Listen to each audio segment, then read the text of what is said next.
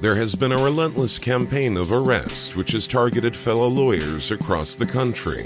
The Turkish government has also targeted Turkish lawyers' right to association. 34 different lawyers' societies or associations have been shut down since the declaration of the state of emergency. Following their closing down by a government decree, all their assets have also been confiscated without compensation. Oppression against the lawyers demolish safeguards against torture. Lawyers are powerless to stop torture.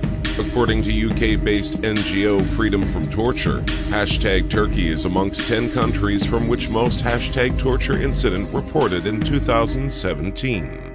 14 of the persecuted lawyers are presidents or former presidents of their respective provincial bar associations, namely, President of Konya Bar Association Fevzi Kayacan was arrested 23 July 2016. He was sentenced to 10.5 years on 2017 October.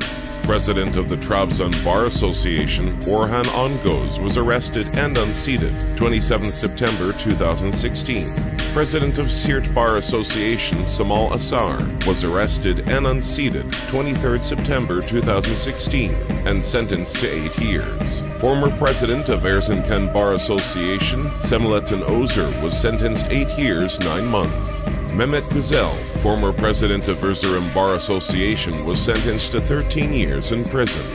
Former president of Manisa Bar Association, Zeynel Balkis, was sentenced to two years.